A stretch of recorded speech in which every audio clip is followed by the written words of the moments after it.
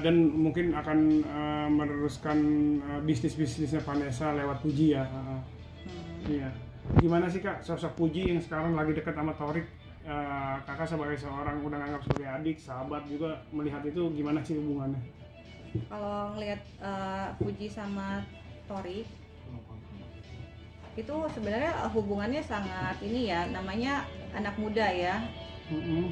sedang lagi apa sih kasmaran lagi senang-senangnya berdua gitu. Tapi menurut saya sih tidak kelewat batas jadi tidak perlu di ini ini juga. Masa karena bucin mau dilaporin? Iya.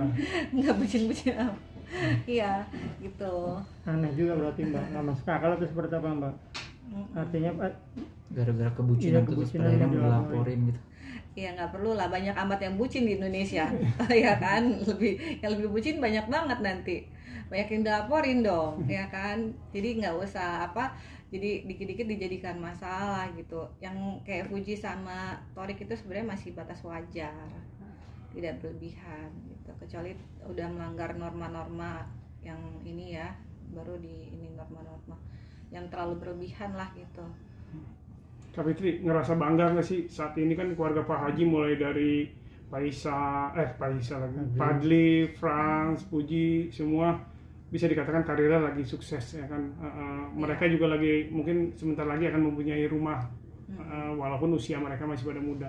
Gimana sebagai seorang sahabat sahabat atau keluarga gimana sih melihat itu mereka pada sukses itu? Melihat itu semua ya sebenarnya ini rezeki ya rezeki hmm. mereka ya. Jadi kalau misalnya pun uh, rezekinya setelah uh, meninggalnya almarhum gitu kan. Tapi kan ini memang rezeki itu datangnya dari Allah ya. Jadi itu suatu hal yang harus ini juga gitu loh. Kita uh, saya sebagai sahabat Vanessa almarhum itu senang aja gitu ngeliat semuanya pada berhasil gitu. Tapi yang tidak boleh diiniin uh, kalau kita sombong ya. Kalau misalnya suatu kesombongan itu tidak boleh ya setinggi tinggi apa pun itu tidak ada tidak boleh namanya sombong gitu kan. Jadi harus tetap uh, rendah hati aja low profile aja gitu walaupun sudah memiliki segalanya